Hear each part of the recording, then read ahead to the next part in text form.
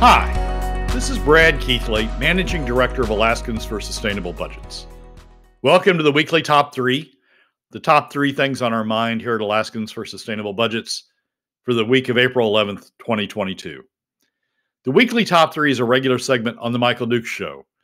The show broadcasts on both Facebook Live and YouTube Live, as well as via streaming audio from the show's website, weekdays from 6 to 8 a.m. I join Michael weekly in the first hour of Tuesday's show from 6:25 to 7 a.m. for a discussion between the two of us about our three issues. We post the podcast of our discussion following the show on the Alaskans for Sustainable Budgets Facebook, YouTube, SoundCloud, Spotify, and Substack pages, also on the Alaskans for Sustainable Budgets website, as well as the project's page on national blog site, medium.com. You can find past episodes of the weekly top three also at the same locations. Keep in mind that in addition to these podcasts, during the week, you also can follow and participate in the discussion with us of these and other issues affecting Alaska's fiscal and economic condition by following us on the Alaskans for Sustainable Budgets Facebook page and through our posts on Twitter. This week, our top three issues are these. First, we discuss where the budget stands as it passes the House and starts being worked on by Senate Finance. Second, we explore an interesting interaction that occurred during the budget debate on the House floor related to a long term fiscal plan. And third, we discuss how we think the Alaska constitutional defenders are leading with their chin in these early stages of the debate. And now, let's join Michael. Let's dive into the weekly top three. I think the you know it's interesting time. Uh, I was just commenting on the fact that you know we haven't hit the 90 day session but twice in almost 15 years, and yet here we are, you know, doing our doing our thing here. Uh, but let's talk a little bit about the budget. We just got the uh, we just got the one half of the budget done um, from the House this weekend. Seven point seven billion dollars, um, which uh, well, I, I don't even know where to begin. I'll let you take the wheel there. Well, that's a little misleading number um, because James, when he does that number, James Brooks uh, at the ADN, soon to be with uh, State News or something. He's moving. He's moving his uh, his platform to, or he's moving his uh, uh, byline to another platform. Uh, when James does that, he throws in the kitchen sink. He throws in what essentially is FY24, but uh, the FY24 budgeting uh, with the forward funding of uh, K through 12, and he throws in the permanent fund uh, dividend uh, as well uh, as as as the legislature sometimes does with the UGF money. Once you once you take those two out, it's still a healthy number, but it's not. It doesn't have a seven in front of it. once you take those out, the budget as it came out of House Finance was 5.06 billion. Um, and as it's leaving the House floor and heading toward the Senate, uh, it's down to about 4.95 billion. Now, I've got in that a placeholder of about 160 million, uh, the governor's original proposal uh, for capital budget. So if you take the capital budget out, it's about uh, 4.83 billion or so. So once you, once you once you reduce once you take out the FY24 funding, which is the K through 12 forward funding, and you take out the PFD, uh, you get a you get a number that's much more in line with uh, much more in line with with with where we have been in recent years. I, I, there's a couple of things. One, the the number that came out of the House was smaller than the number that came out of House Finance House Finance by about 100 million dollars that was primarily because they they they voted out or or took out uh, some forward funding that they had put in uh, at Sara Rasmussen's request in House Finance for oil and gas tax credits. They took out the forward funding of the oil and gas tax credits, so that reduced it by about 120 million, and then plus or minus uh, other changes they made. That it's down about 100 million from from coming out of House Finance. The other thing that James doesn't talk about, but that but that we need to keep our eye on is what's going on in the supplemental budget, the FY 22 supplemental budget, and they've still got uh, about 270 million or so uh, plugged over there coming out of the House. So it's um it, it's it's a healthy number, but it's not it's not the seven billion that that people think about. over in the um, or the James uh, the ADN headlines would would lead you to. Over in the Senate, the Senate has come up with their capital budget, uh, the initial capital budget they talked about yesterday, and I was surprised, um, somewhat pleasantly surprised. Uh, the Senate uh, finance initial capital budget is less uh, than what the governor asked for. Um, and it's uh, uh, down to about uh, 190 million dollars UGF. It's bigger once you throw in DGF, and certainly bigger once you throw in the federal funds. But from a UGF standpoint, it's down to about 190 uh, million dollars. The governor had asked for um, uh, something over uh, 200 million dollars. So it's um, from a spending standpoint, the the legislature is high. it's higher than it was last year before you take into account the supplemental. Uh, but it's not it's not they they're not blown through the they're, they're not blowing out the the ceiling in terms of in terms of spending. The problem to me, the problem is on the revenue side.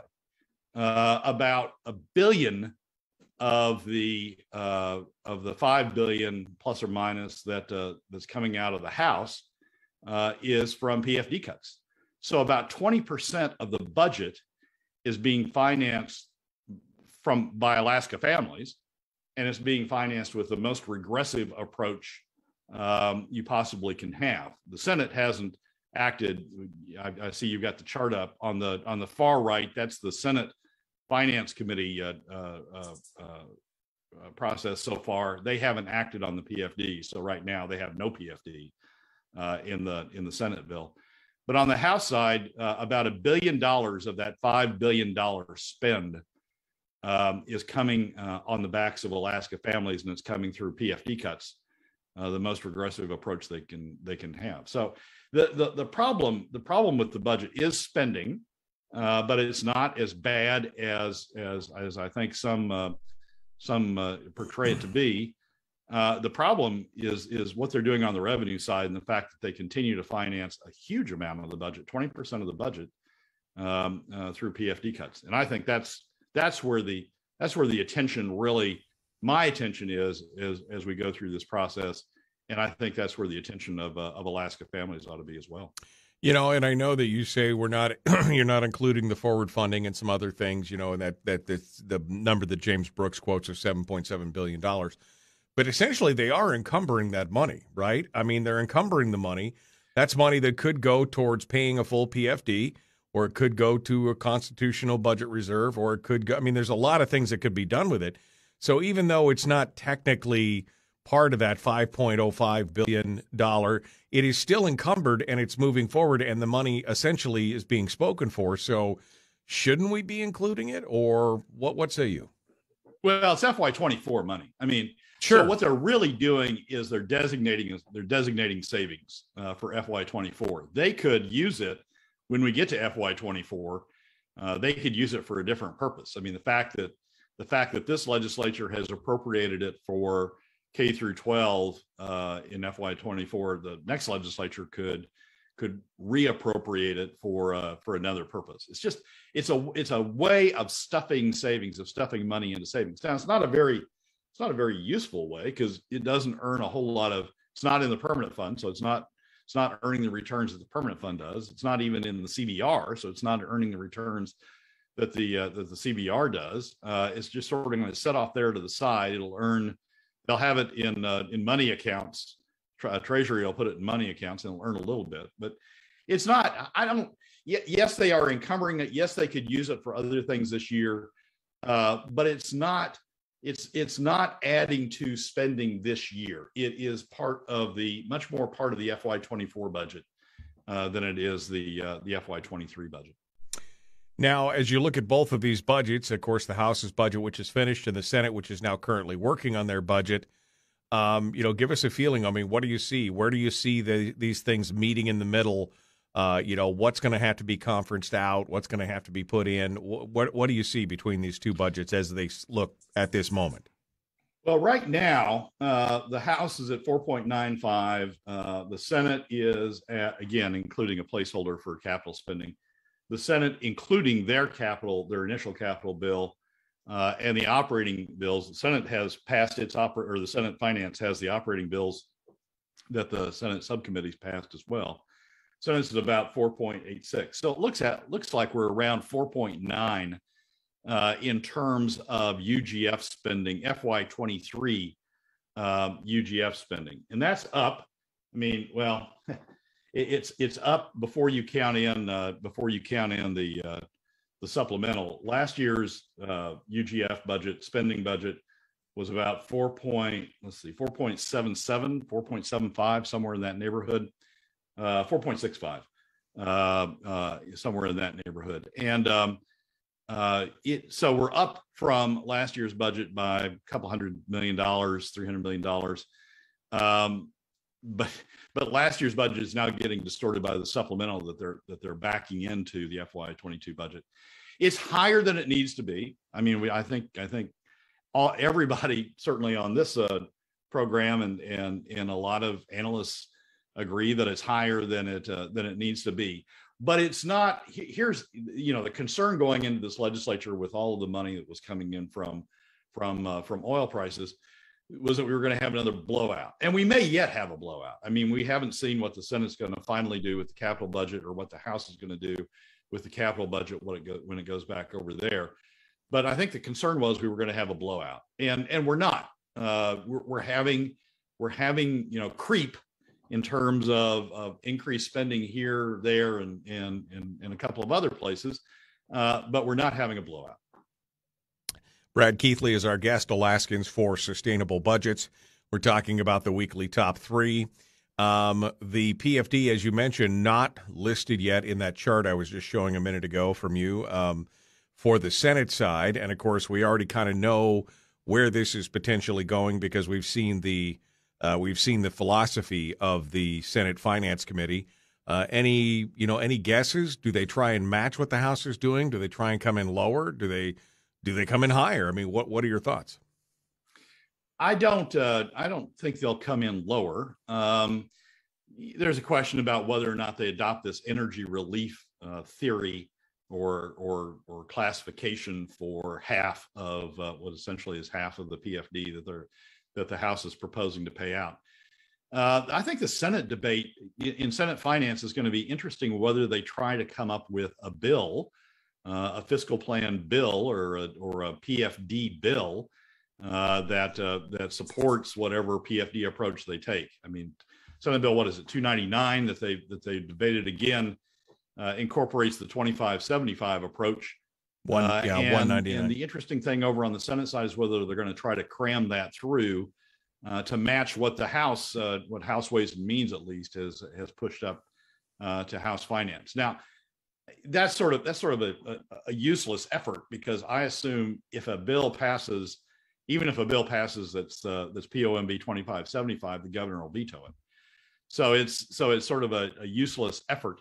Uh, but it'll it'll be interesting to see if uh, this is Natasha's final session. This is Natasha, Natasha's final, uh, at least this go round, her final uh, uh, push at at Senate Finance uh, it's uh, you know, it, it, Bert may not be in control next legislature, so it may be Bert's last uh, last hurrah as uh, as chair. It's it's it'll be interesting to see if they try to push this bill out, notwithstanding the fact the governor will likely veto it. If they try to push this bill out as right. sort of their quote final solution to uh, uh, to uh, to the PFD, that that's that's going to be one interesting thing that goes on. The other uh, that I'm that I'm going to watch for uh, as the Senate goes through the the process this week and probably on the Senate floor next week is whether the capital budget in fact blows out and whether they can keep themselves restrained uh, in terms of uh, in terms of capital budget items as uh, as they as they go through the process. One final question: the the stipulatory nature of some of the stuff in the House, you know, the contingency language uh, where they say we must increase the base student allocation, or if the I think it was either or or the 1.2 billion doesn't get forward funded, they also left a 57 million dollar increase uh, to base it on other pieces. This kind of again the stipulatory stuff. What are your thoughts on on that? Because this is again hints of uh, of Bert Stedman's maneuvers in the past, where of getting something was contingent on voting something else. Yeah, I mean, you always hate to see that uh, because you just want you just want a pure bill. You just give us the numbers. Don't don't try to don't try to try to game it.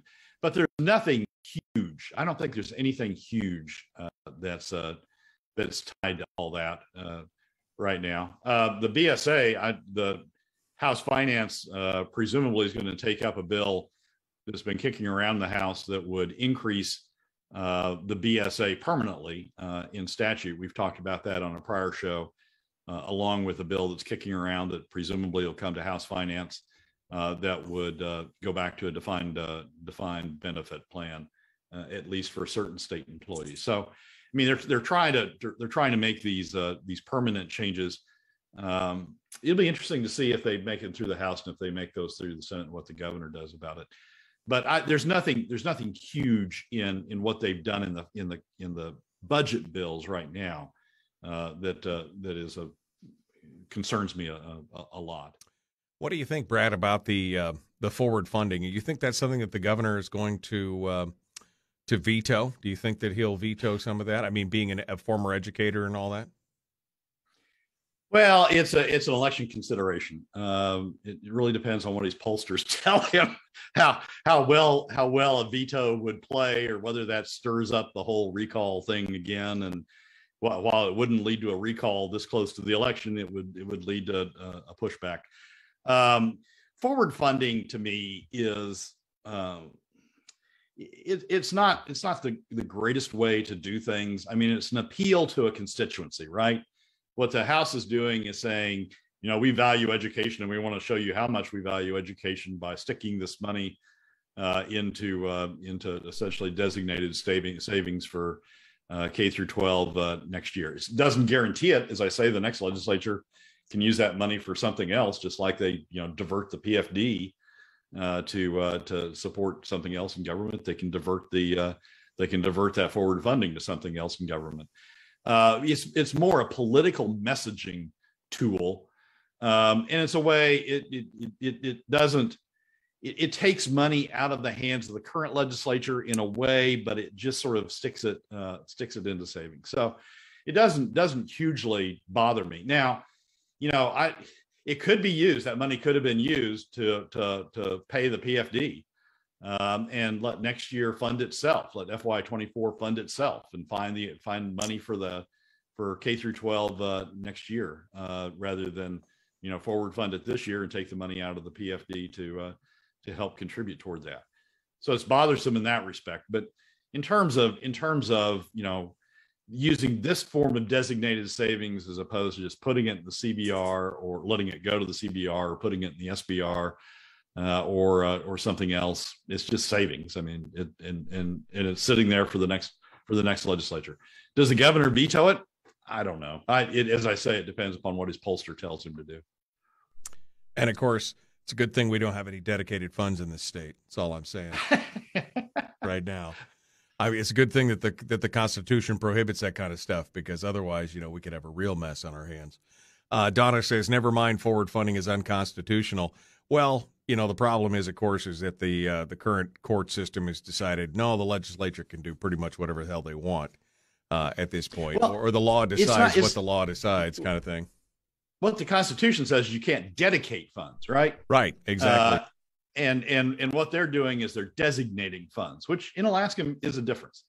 Um, so yeah, it's I, I you know, oh, wait a second. The, you Did you just say that? Did you just say that with a straight face? Did you just say that? That I mean, the difference between dedicated and designated, and I mean, I understand what you're saying, Brad, but really, can we say that with a straight face?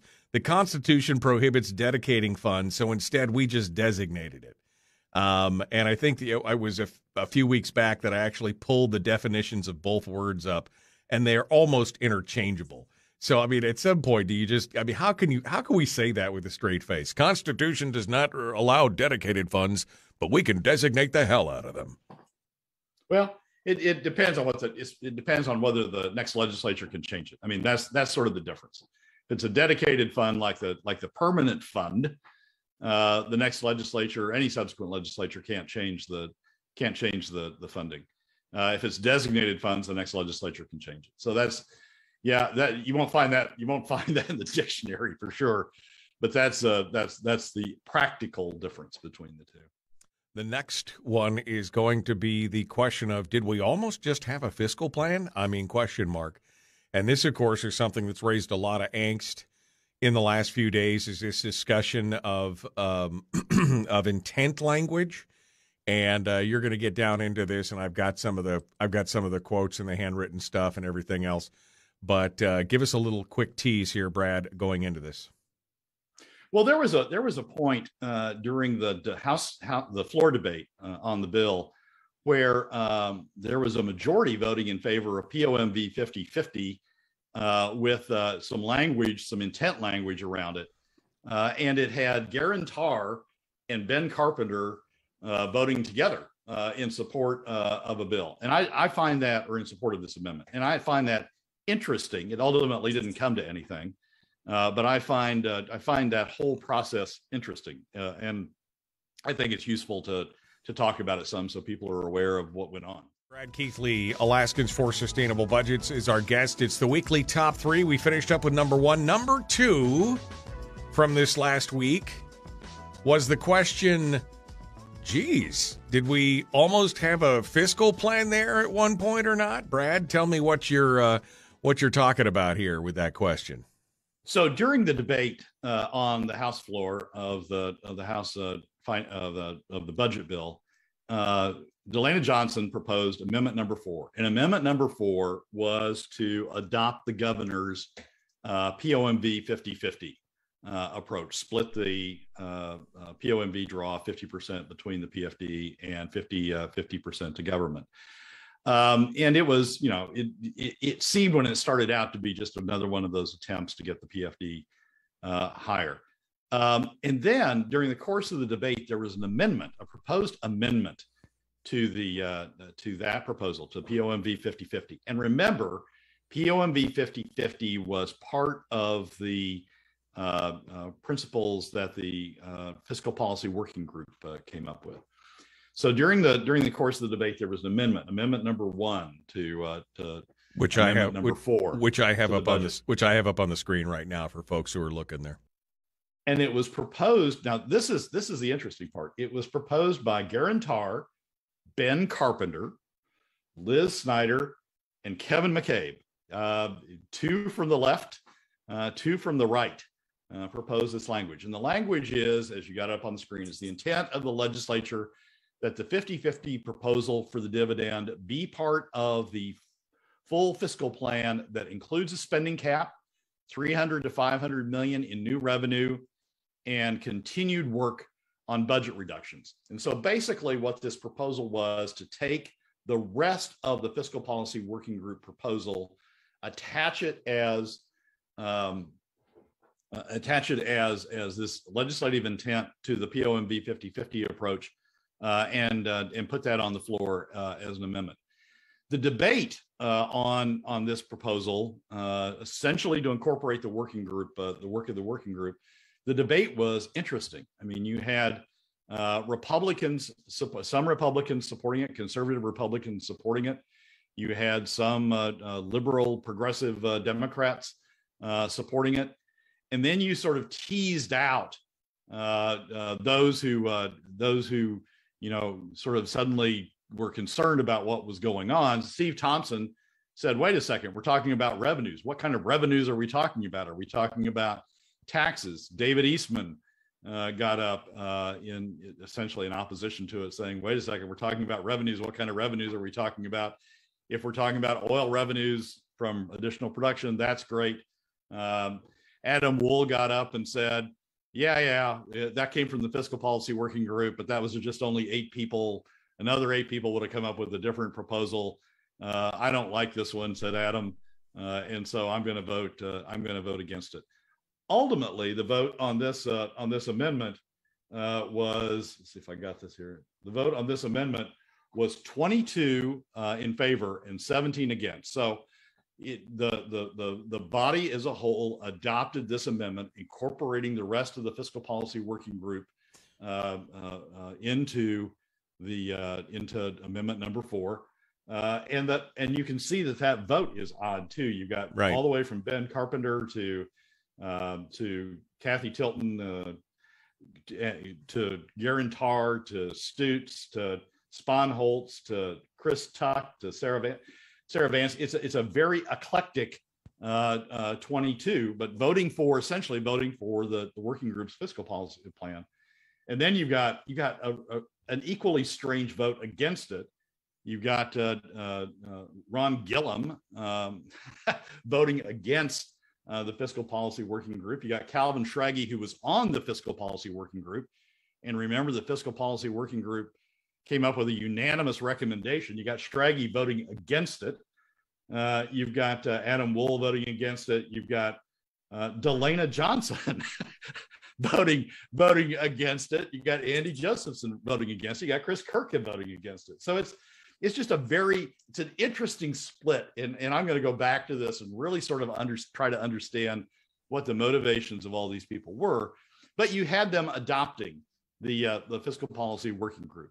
And I'll, now, I'll, I'll make a note that this is really one of the. In fact, Josephson mentions it about the fiscal policy. This is really the only time this has come up as any kind of substantive discussion since the fiscal policy working group put out their unanimous recommendation. Remember, a group of eight people plus four alternates that came up with a unanimous decision. And these people are the most politically diverse, most far left, most far right people came all together and said unanimously, this is what we think will do it. You have to do it holistically. You have to look at it all.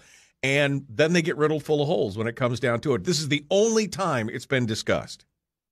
Yeah, and and and it got now a lot. Now these people were voting. I mean, sort of tell Sara Rasmussen's part of the majority. These people were voting knowing that it was likely ultimately going to be defeated.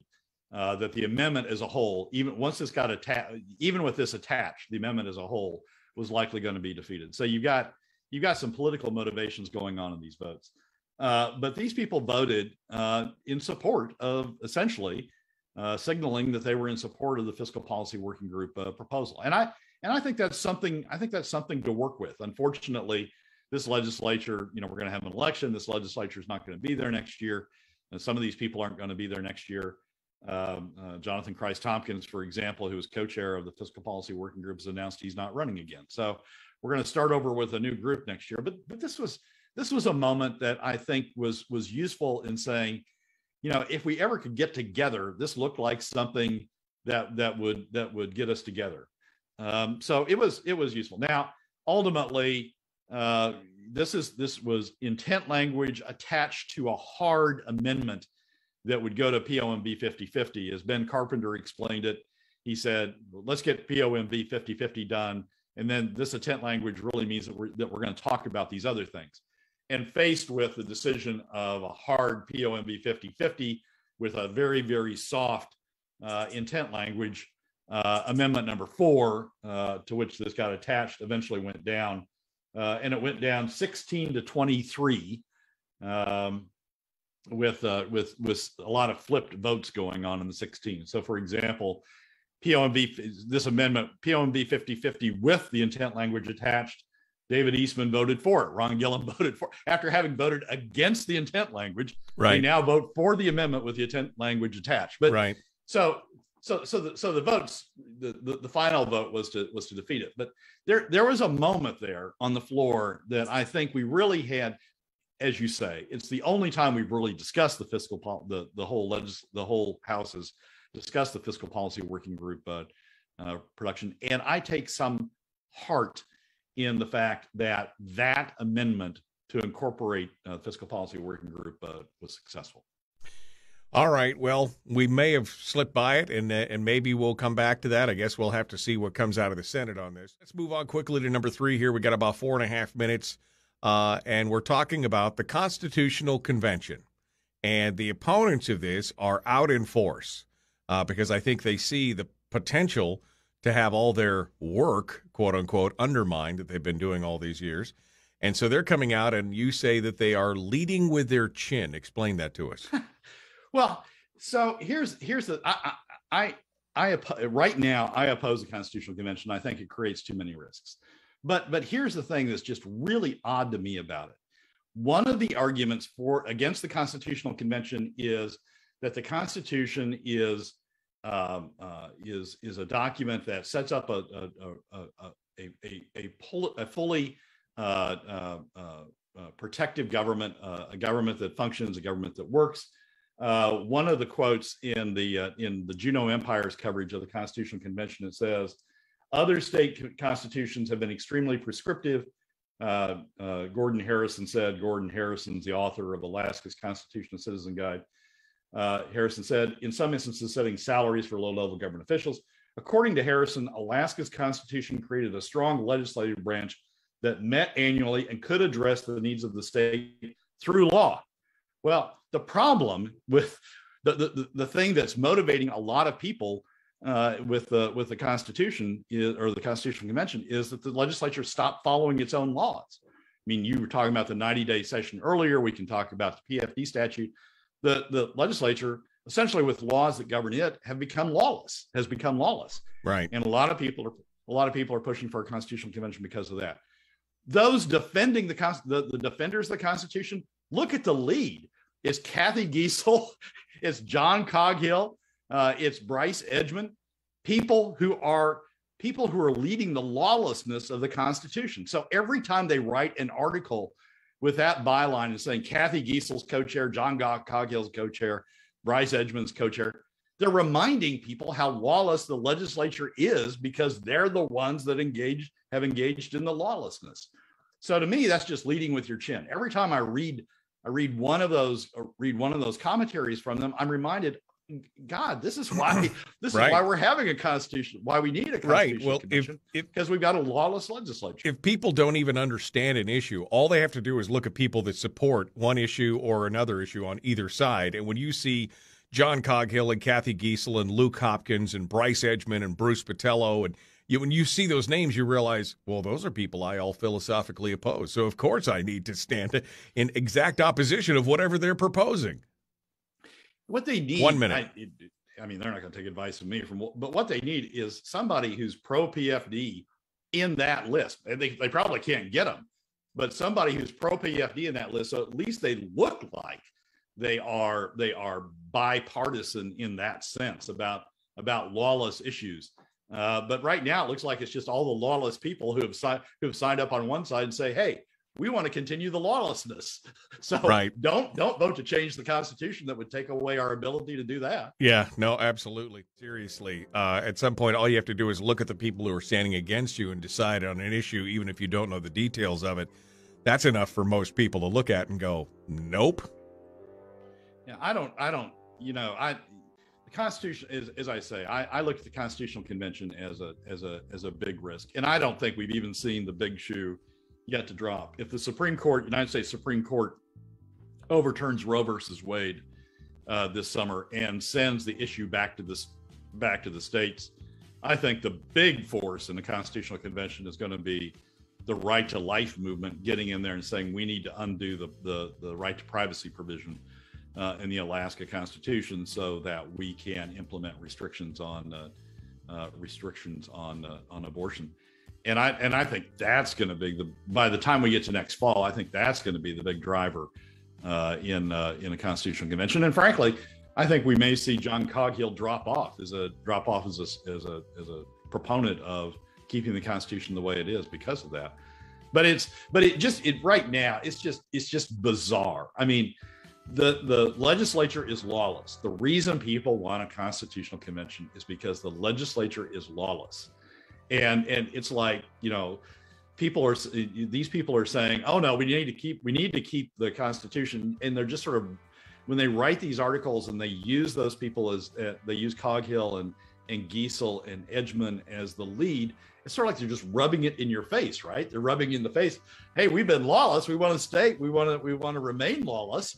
Uh, and uh, and uh, and so we're going to uh, uh, we we want you to, to continue to support the Constitution as it is because it lets us be lawless.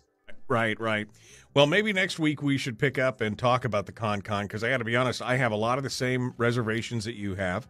Uh, I always have. Anytime you open up a constitution, you know, you can. You, there's a lot of things you could fix for sure, but there's a lot of messes that could be made in there as well. But I'm starting to come to the conclusion, you know, in my balancing scales of should we or shouldn't we, I'm starting to come to the conclusion that the lawlessness is so prevalent in the legislature that it may be the only solution to be able, the only way to fix it as we as we see this. We, you know, I'm I'm really I'm really torn on this, uh, and so maybe we should spend some time on that next week and and talk about your concerns and my concerns, but at the same time, looking at it as if it might be the only solution based on what you're just saying on all this lawlessness.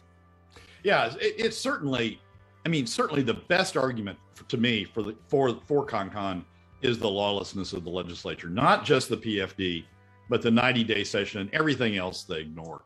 Uh, that's certainly the best argument for it. I, I, think there are countervailing arguments that outweigh that, but that's certainly the best argument. And, and I look forward to discussing it with you. All right. Well, let's pick that up next week. Anything else you're watching this week for folks before we got about two minutes here before we uh, run the clock back out to hour two. So any uh, any anything else you're going to be watching this week or that we should be looking for in your mind as we watch what's going on in the Senate? Well, on the Senate side, it's certainly going to be what's going on in the Senate finance, uh, both from the standpoint of how they deal with the budget. Is there, w- will they blow it out? Will somebody just start adding money and money and money? Uh, and then on the Senate side, how they deal with the PFD issue. Are they going to try to push uh, Senate Bill 299 or uh, are they going to just sort of muddle through it uh, like they have before? On the House side, what I'm watching is these bills. excuse me. Now, if they've got the budget out, I'm watching these bills on defined benefit program uh, and on uh, permanent BSA increases, and uh, and watch those uh, as they're coming up. Those are bills I also think the governor would veto if they came to him. Uh, but again, this is all politically me- political messaging now. I think that some are going to try to push those push those through the House. So I'm going to be watching those. Well, I got to say that I'm a little uh, I'm a little one. I'm a little worried as to what the governor may or may not veto. As you said, there's a lot of political ramifications. Uh, whether it's the 1.2 billion in forward funding for education or some of these other things, uh, I'm wondering just how much his handlers are squeezing him to vote one way or the other. There's a lot of stuff that I would like to see the red pen taken to, um, and I just have a feeling that it's not going to be I, I guess is I guess I'm just going to say we're not going to see as many red lines as I think that we should in the uh, in the upcoming budget uh, because of the political nature of this at this point.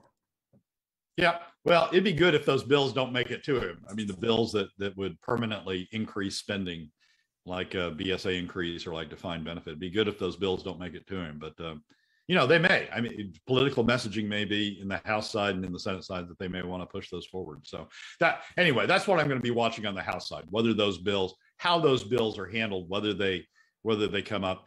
And then there's also on the House side, there's the the House Ways and Means POMV 2575 bill, and that'll be before House Finance at some point. So I'll be looking for that as well. All right, Brad Keithley, Alaskans for Sustainable Budgets. Brad, as always, we appreciate you coming on board. Thank you for. Uh, Thank you for being part of it today. Michael, thanks for having me, and I look forward to next week's discussion. All right, we'll see what it looks like. That maybe it'll be just as messy as it could possibly be. We'll have to see. That'll make life more interesting. Well, that's a wrap for another week's edition of the weekly top three from Alaskans for Sustainable Budgets. Thank you again for joining us. Remember that you can find past episodes on our YouTube, SoundCloud, Spotify, and Substack pages and keep track of us during the week on Facebook and Twitter. This has been Brad Keithley, Managing Director of Alaskans for Sustainable Budgets. We look forward to you joining us again next week on the weekly Top 3.